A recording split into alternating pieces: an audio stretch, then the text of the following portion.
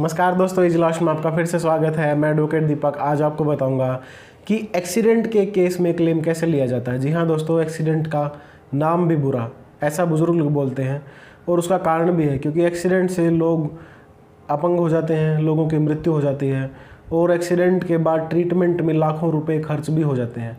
तो दोस्तों एक्सीडेंट में जब कोई अपंग हो जाता है तो वो अपना सामान्य जीवन नहीं जी पाता और अपंगता के कारण कई बार जो वो काम कर रहा होता है या पढ़ाई कर रहा होता है या फिर मान लीजिए नौकरी कर रहा होता है और नौकरी में अगर वो काम उसका शारीरिक का है तो वो दोबारा से अपने सामान्य जीवन नहीं जी सकता, अपनी नौकरी नहीं कर पाता। तो ऐसे में जब ट्रीटमेंट पे भी लाखों रुपए खर्च हो जाते हैं और उसकी नौकरी भी चली जाती है तो वो कोर्ट में क्लेम केस फ़ाइल कर सकता है और उसका मुआवजा पा सकता है।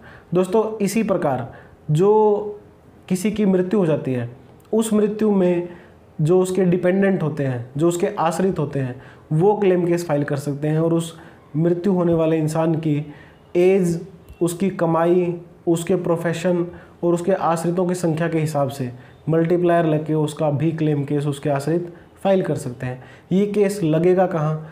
ये case motor accident claim tribunal में लगेगा और डिस्ट्रिक्ट एंड सेशन जज जो होता है उसको इसकी पावर होती है। तो दोस्तों, जब आप क्लेम पिटीशन फ़ाइल करते हो तो उसमें कौन कौन से दस्तावेज़ चाहिए? क्लेम पिटीशन फ़ाइल करने के लिए आपको सबसे ज़रूरी दस्तावेज़ जो है, वो एक एफआईआर चाहिए। एफआईआर वो एफआईआर होगी जो एक्सीडेंट करने वाले ड्राइवर के खिलाफ होगी और उस एक्सीडेंट से ही उसकी रैश और नेग्लिजेंट ड्राइविंग करने बारे रिपोर्ट एक्स सेक्शन एक सौ तिहत्तर में दर्ज होगी। तो दोस्तों एफआईआर आप देंगे उसके बाद पोस्टमार्टम रिपोर्ट देंगे अगर कोई गुजर जाता है उसकी, जिसमें क्लियरली उसकी जो कोज ऑफ़ डेथ होता है, उसकी मृत्यु का कारण होता है, वो लिखा होता है।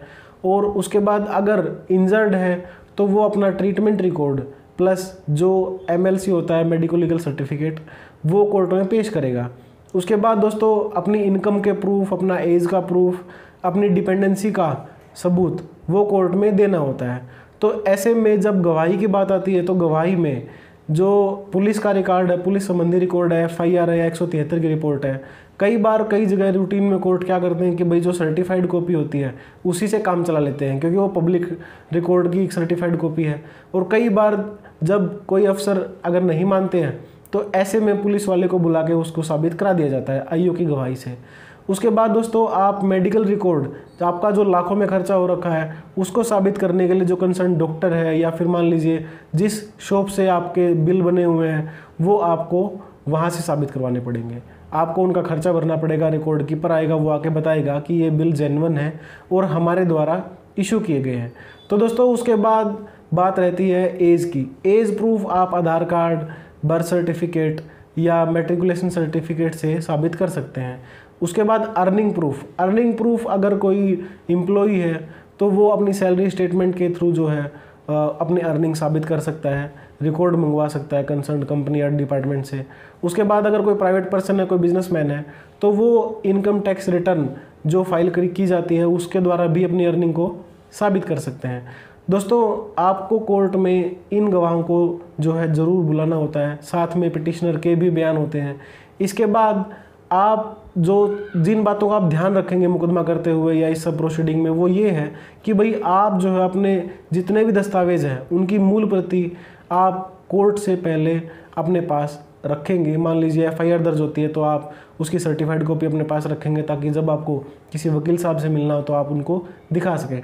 आप अपने मेडिकल बिल्स जो हैं, उनको ओरिजिनल संभाल के रखेंगे, ताकि कोर्ट में जब लगेंगे तो वो आपको ओरिजिनल चाहिए होंगे।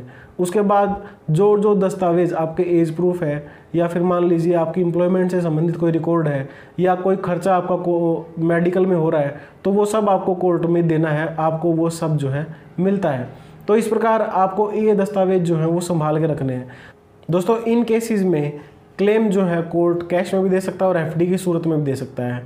तो इस वीडियो में इतना ही दोस्तों। अगर आपको वीडियो में जानकारी सही लगी है तो वीडियो को लाइक करना, चैनल को सब्सक्राइब करना, साथ ही बेल आइकन को ज़रूर प्रेस कीजिएगा ताकि हर वीडियो की नोटिफिकेशन आते हैं सबसे पहले पहुँचे।